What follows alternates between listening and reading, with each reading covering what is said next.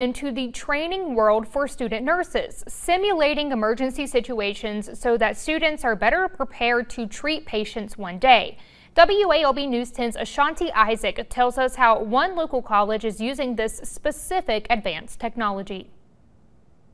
Southern Regional Technical College has a new virtual reality simulators that helps train their nursing students and prepares them for the real world of nursing.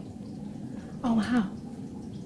You have patient scenarios that mimic what can happen in real life in the hospital.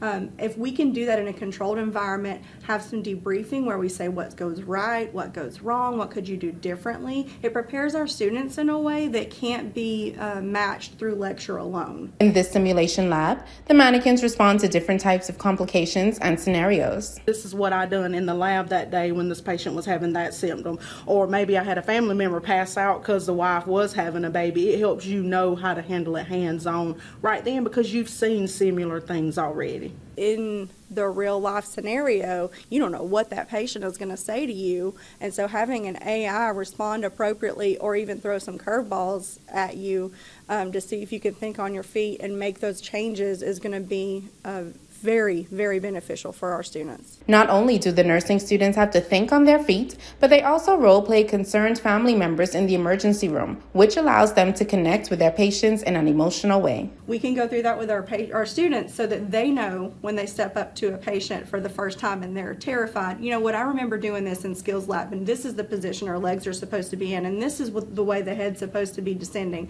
so that they can be prepared as a new nurse who wants to go to a labor and delivery unit Ashanti Isaac, WALB, your hometown news source.